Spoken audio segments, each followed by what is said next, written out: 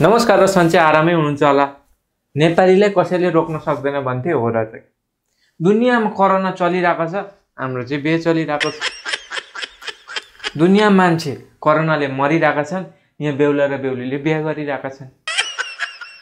पुरै संसारमा कोरोना फैलेर होइन मान्छेहरू उडाएको उडाइ छ क्या हाम्रो चाहिँ नेपालीको चाहिँ लगन जुरेर होइन बेहुलोले अरूको गर्लफ्रेन्डहरू उडाइरहेको छ। मेरो पनि उडायो। चाडा पो भइसक्यो त समय आओस् समय आओस् बदला लिन्छु म। म पनि एकैचोटि मालदार कसैको बुढी उडाउँ। ए तपाईँहरू सोच्नु हुँदैछ होला पापीहरूको बुढी उडाउने। यत्रो मेरो चार चारवटा गर्लफ्रेन्ड उडाउने तिनीहरूलाई चाहिँ पाप लाग्दैन। अरूको मैले कसैको बुढी एउटा उडाएँ भने दुईवटा गर्लफ्रेन्ड माइनस। गर्दाखेरि उल्टै पनि मलाई धर्म अझै हुन्छ। चारजनाको घर बसाएर एकजनाको बिगाऱ्यो भने के? अब सोसियल मिडियामा हेर्नुहोस् फेसबुक इन्स्टाग्राम वाट्सएप स्टोरी यताउता जहाँ बिहान बेलुकै पुरै बिहेको फोटो आइरहन्छ। अब जसले बिहे गर गर। अब जसले गरेको छैन नि उसलाई चाहिँ के लाग्छ भने बिहेपछिको जिन्दगी साँच्चैको खुसीको छ कि छैन भनेर होइन? सबै सिङ्गलहरूले त त्यही लाग्छ। अनि म चाहिँ के भन्छु भने त्यो बिहाको त यसै पनि खुसीको माहौल हुन्छ। झैँ झैँ यताउता आफन्त रमाइलो गरिरहेका हुन्छन्। त्यसपछिको फोटो पनि हाल न जस्तो कि बुढो बजार जाँदै गर्दा आउँदाखेरि सब्जी लिएर आउनु है। भनेको फोटो हाल। त्यसपछि बुढी माइत जानु लाग्दा हिँडिराख माइत उतै मात्रै कुदिराख। उतै बस। नआइदियो बुढोले भनिरहेको फोटोहरू हो त्यसरी पो हामीलाई थाहा हुन्छ त बिहेपछिको जिन्दगी पनि गाह्रो हुँदो रहेछ। नभए अहिले बिहे बिहेको फोटो देखेर त थम्म्याउनै सकिँदैन के? अब बिहे त केटा र केटीको हुन्छ। र केटीले चाहिँ बिहे गरेको छ भनेर सजिलै हामीले पत्ता लगाउन सकिन्छ। उसले चुडा लगाएको हुनसक्छ साडी लगाएको हुनसक्छ या फेरि भित्तीले छेरे जति सिँदुर लगाएको हुनसक्छ तर अब छोरो मान्छेले चाहिँ कसरी पत्ता लगाउने बिहे गरेको छ कि छैन?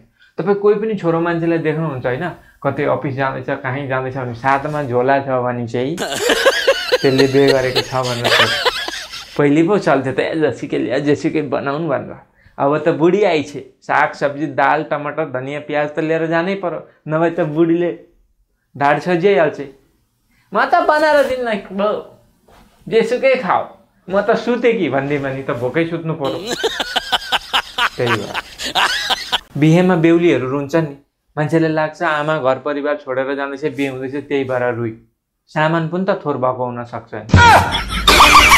बेहुलीले सुनको सानो मङ्गलसूत्र पनि त ल्याएको हुनसक्छ नि। या फेरि उसले आफ्नो बोयफ्रेन्ड छोडेर अर्कैसँग बिहे गरेको पनि त हुनसक्छ नि। के थाहा हाँसुले त बोल्दैन हजुर। तर कुरोले त मान्छेको मन पोल्छ नि। जिन्दगीमा सुख दुःख चलिरहन्छ। आफ्नो गर्लफ्रेन्ड अरूको बुढी बनेको देख्दा मन भातभती पोलिरहन्छ।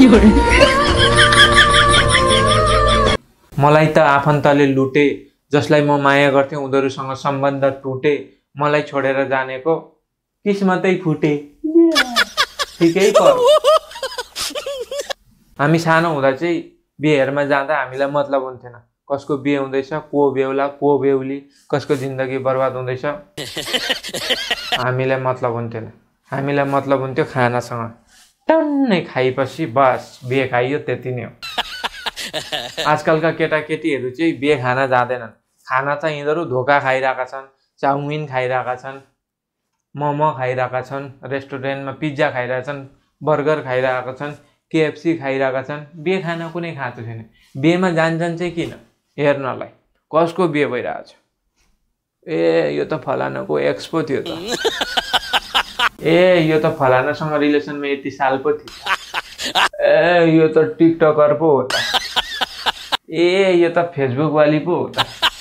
ए यिनीहरू दुईजनाको पो बिहे भएछ। सुनेको थिएँ यिनीहरूको बारेमा। ए यही पो हो। यस्तोले पो पठाएछ यसलाई आजकलको बिहेमा र कोरोना पुरै फैलिँदैछ होइन? बिहे गरे पनि ध्यानले अलिक जान्छ त गर्लफ्रेन्ड बोयफ्रेन्ड बुढी पुरै संसारै छ। त्यही भएर अलिकति आफ्नो स्वास्थ्यको ध्यान राखेर बिहे गरे पनि त्यही हो। र साथैमा एउटा रिक्वेस्ट गर्न चाहन्छु बिहे गर्नु हुँदैछ नयाँ जिन्दगी सुरु गर्नु हुँदैछ सबैले धेरै खुसीको कुरो गर्नुहोस्। तर एउटै कुरा भन्न चाहन्छु आमा बुवा बिहे अगाडि जस्तो हुनुहुन्थ्यो त्यसरी नै राख्नु होला हो बिहेपछि कतिपय कुराहरू नमिल्ला मनमुटाव होला तर हल्का एडजस्ट गरेर चल्नुहोस्। किनकि आमा बुवा भनेको आमा बुवाई हो आमा बुवालाई छोराछोरीको खुसीभन्दा ठुलो केही कुरो होइन। र भोलि बिहे गरेपछि चाहिँ आमा बुवालाई धेर नपार्नु होला आमा बुवालाई सधैँ साथ लिएर चल्नु होला यो चाहिँ मेरो बिन्ती हो। र आजलाई यति नै। मन परेमा लाइक र कमेन्ट गर्नुहोस् मन नपरेमा अरूलाई सेयर गर्नुहोस् अरूले हेर्छन्। बाई बाई धेरै धेरै धन्यवाद।